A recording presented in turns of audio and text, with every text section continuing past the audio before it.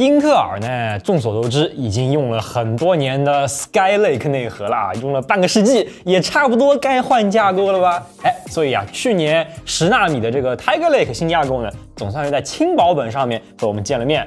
那现在也轮到标压游戏本了，Tiger Lake H45 终于来了。那这个十纳米的高性能处理器，性能到底够不够高呢？今天我就找来了三台游戏本来对比一下啊，它们的散热模具都是顶级模具，显卡统一是满血功耗的三零六零，而不同之处便在于它们的处理器。上一代的 i7 幺零八七零 H，这一代的 i7 幺幺八零零 H，以及隔壁的 R7 五八零零 H，三台机器硬碰硬，看一看笔记本上用的这个 H 四五到底表现如何。那不仅如此啊，我们还会拿这台笔记本的 Tiger Lake 打一下台式机十四纳米的 Rocky Lake，来看一看它有没有机会以下犯上。那我们赶紧开始吧。Tiger Lake 架构相关的东西呢，我去年测低压的时候就已经都讲过了，又是这个 Willow 新内核，又是十纳米 Super Fin 的新工艺，现在这个玩意儿呢，终于是上了游戏本，有了八核心的版本了。那我觉得可以跟大家来聊一下它和桌面端 Rocky Lake S 的区别啊，最高都是八核心嘛。那我们知道桌面端的十一代用的是 Cypress Cove 内核，也就是老的这个 Sunny Cove 的马甲啊，再配上一个十四纳米的工艺。那笔记本 H 四五呢，不仅工艺要比台式机更先进，更重要的是它的缓存反而要比台式机强很多。Tiger Lake 每核心一点二五兆二十通道二级缓存，Rocky Lake 只有五百一十二 K 八通道啊，容量和带宽笔记本都要高出一大截。三级缓存 i 七幺幺八零零 H 给了二十四兆，也要比桌面 i 七幺幺七零零 K 的十六兆再多百分之五十啊。所以对比台式机啊，这一次笔记本用的 Tiger Lake H 反而。而还要更先进一点！那这一点和隔壁 AMD 是截然相反的。AMD 桌面端 Ryzen 很给力，但是笔记本端的 Ryzen 却砍了缓存部分，性能会受到影响。所以这就让我好奇了，这一次英特尔的移动端能不能干翻 AMD 呢？我们赶紧准备好三套测试平台。那这三台笔记本我前面讲到了，都是顶级模具，所以散热方面呢，可以尽可能的发挥出性能啊。除此之外啊，内存也统一用的是三千二 CL 二十二的规格。不过 Tiger Lake H 四五上有引入新的分屏机制，相信很多同学都了解过啊。那我们这里用的是 Gear One 的设定，确保大家都不分屏，给到最好的性能。但是我们后面在游戏部分也会测一下 Gear One 和 Gear Two 到底差多少。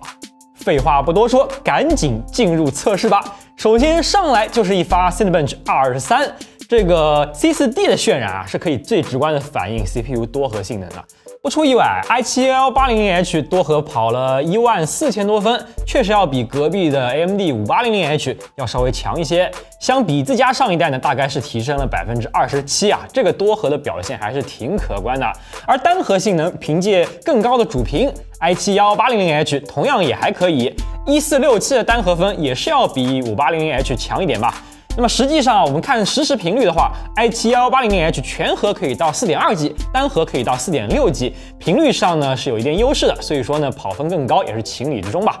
全核跑满的功耗方面，i7 11800H 的 CPU package 九十四瓦，要高于 580H 和 10870H，更高的频率也带来了更高的功耗。好在英特尔也掌握了一门独门绝技吧，就是我们在桌面端上聊过的这个削带技术 啊。尽管功耗更高，但是似乎是更不容易积热啊。同模具下的温度倒是可以和 580H 保持一致的。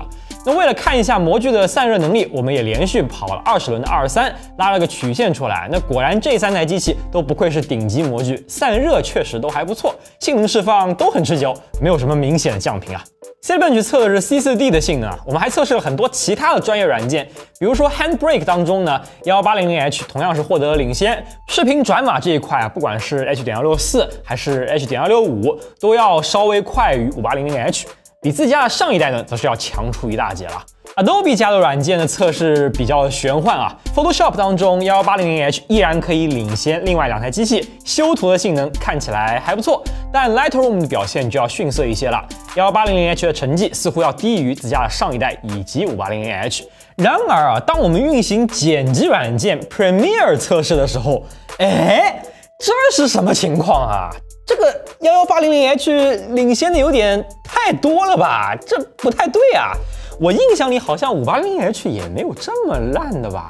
那抱着怀疑的态度呢，我是左检查右检查，最后发现这个成绩，它确实是对的啊。这个幺幺八零零 H 呢，确实在 Premiere 当中有这么强，但是和大家想的可能不太一样啊。它强呢是强在核显、编码加速上。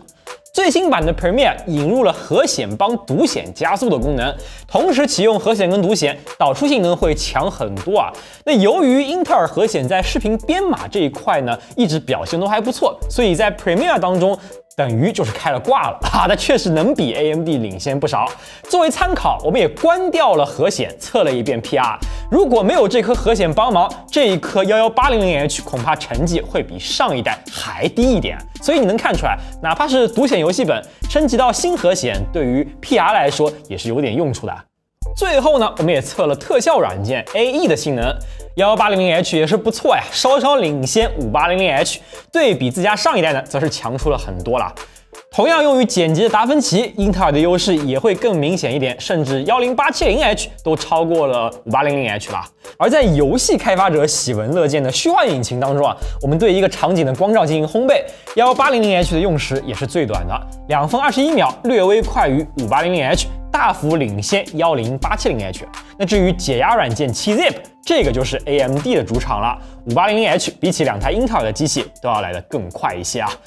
专业软件的最后啊，我们还加入了 VS 的 C 加加编译测试。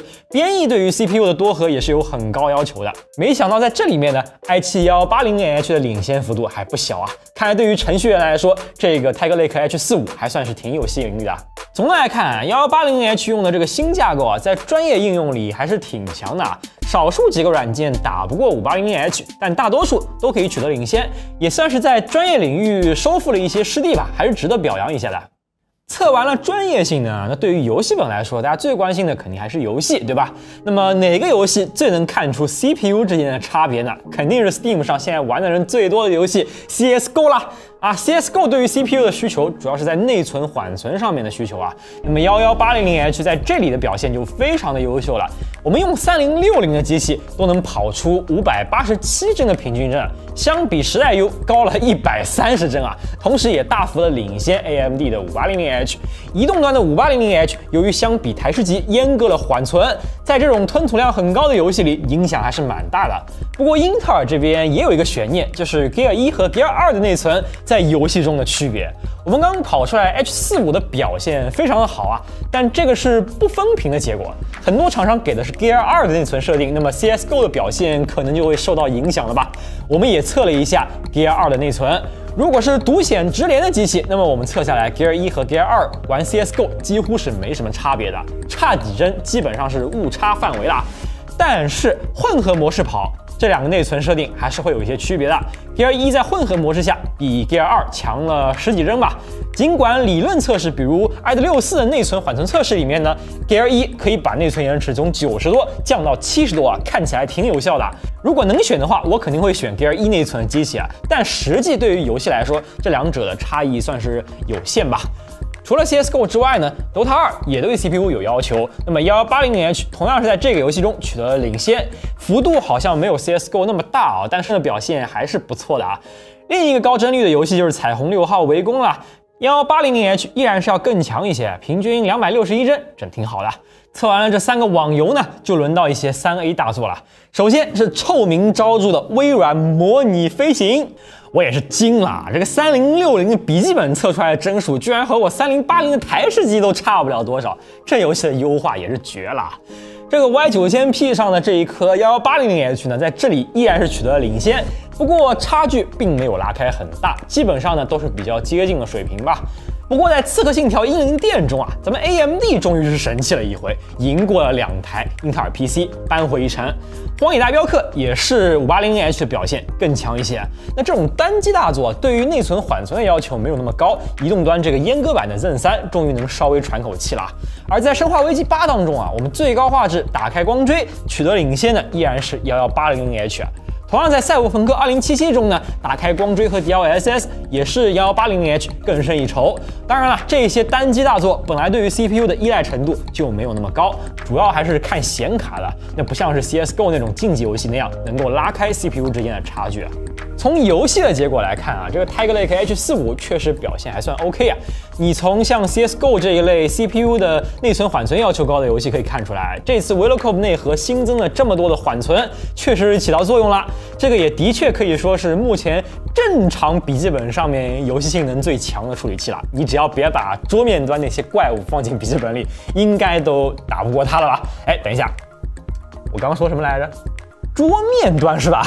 哎，既然 Tiger Lake H45 都这么强了，它能不能干翻桌面端 Rocky Lake 呢？哎，我们不妨来做一个实验看看啊。我把一颗 i7-11700K 降频到和 11800H 相同的频率，单核4.6，全核 4.2，Ring 频率也是统一3.8。内存同样是设定在了三千二 C 二十二，台式机搭配桌面三零六零，笔记本搭配移动三零六零，两颗处理器我们都尽可能的降压降到最低，排除 BIOS 对电压的影响。我们来看一看桌面端和移动端在性能和功耗上有多大的区别。首先，Cinebench R23 的跑分毫不意外的，移动端 1180H 凭借更多的缓存，多核分数要比桌面端的 11700K 更高一些。不过这个差距还是比较小的，毕竟 C4D 对缓存并不是很敏感啊。但是有一个东西区别还是挺大的，那就是功耗了。桌面端十四纳米跑出了满负载一百一十瓦的功耗，移动端十纳米可以控制在八十八瓦，比桌面端低了百分之二十啊！这俩工艺的差别简直是肉眼可见了。但是说实话啊，这个百分之二十的差距已经比我想象的要小了。我本来以为桌面端、移动端可以差一倍呢啊！主要可能是这个四点二 G 的频率比较低吧，而十四纳米的低频能耗比其实并没有落后太多。如果我们两个平台都有机会跑到五点零 G 的话，测一下。功耗，我感觉结果可能会很不一样。到了游戏当中啊，尤其是像 CSGO 这种竞技游戏，果然大缓存的优势还是能够体现出来的。尽管 11700K 的频率控制更激进，实际算下来的频率可能还要更高一点，但这并不能阻止 11800H 取得帧数上的领先，高了二十多帧吧，表现还算不错。不过在我看来啊，移动端之所以能打过桌面端，和我们用的内存也有一定的关系啊。CL 二十二时序的内存对于桌面的幺七零零 K 来说有点太高了。那我也尝试了一下，给笔记本用了顶级的这个三千二 C 十六的内存，台式机也用相同的时序去跑，结果两者差距就小了很多啊，那几乎是一个性能上了。这其实说明了一个问题啊，就是桌面端的 Rocky Lake 它的缓存太小了，所以需要用高性能的内存来弥补这个短板。高频条和普通内存在 Rocky Lake 上可能差别会非常大，而移动端的 Tiger Lake 呢补齐了缓存这一块短板，这就让机器对于内存的宽容度高了很多。即便用稍微差一点的内存，也不会太过影响性能。这个对于供应链非常复杂的笔记本平台来说，我我觉得是蛮重要的。当然了，内存能够上这个四 BG 双面颗粒 Gear 一不分屏，肯定还是最好的，对吧？那多一点性能嘛，怎么都不亏嘛。最后啊，我还要来聊一下这个 Tiger Lake H45 带来的一个小惊喜，就是四倍屏福利。哎，这个词可能有些 DIY 的老玩家听说过啊，就是在 Sandy Bridge，也就是二代酷睿上面，桌面端即便是不带 K 的处理器，也会送给你一个四倍屏的超频空间。时隔多年啊，这个小惊喜居然在 Tiger Lake 上面带回来了。幺幺八零零 H 墨屏是单核四点六，全核四点二，但只要笔记本厂商允许，我们就可以用英特尔的 XTU 工具超频到单核五点零，全核四点六啊。当然要配合降压，而且压不压得住，得看你机器的模具是什么造化了。比如这台 Y 九千 P 的话呢，我们超到全核四点六的话，跑像二二三这样的高负载，它还是会掉到四点四左右，甚至你电压如果太激进的话，甚至过不了测试的。其实这个时候的散热是没有什么压力的，但是 CPU 的供电有点不够用了。好在跑游戏的话呢，压力没有那么大，它就可以上到很高的频率。CSGO 甚至能偶尔蹦到四点八 G 以上啊，已经非常强了。